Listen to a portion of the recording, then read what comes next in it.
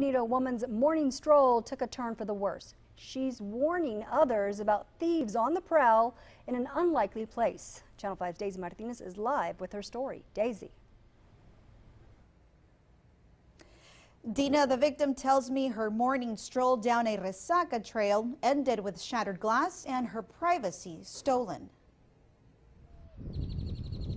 It started out as a typical Friday morning when this woman, who we'll call Cindy, headed out for a morning walk at the trail near Haven Park. She parked here and set off for about an hour and a half. When she got back to her vehicle, she noticed the back window smashed in. Somebody had broken it to to steal two I had a couple of purses in there that were stolen. Personal information and credit cards all gone. Cindy says she's surprised this happened at a public park during the day. Cindy tells us she's lost her sense of security. Oh, I'm scared for my own safety and my family's safety. You know, I have family and they're my priority, you know, my concern. With summer right around the corner and activity picking up at the park, she's speaking out in hopes it won't happen to anyone else. You know, especially ladies out there, be careful, don't, you know, carry cash or hide your purses or something. San Benito Police Chief Michael Galvan tells us they have a few clues about the burglar, but he is still on the run. He's not surprised about this crime of opportunity.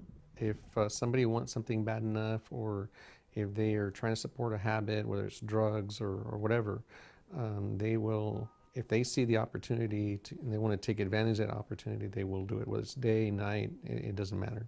He says people can make themselves less of a target. Even if you have change in your cup holder, you'd be surprised how many times people have broken windows and just taken the change in the cup holder.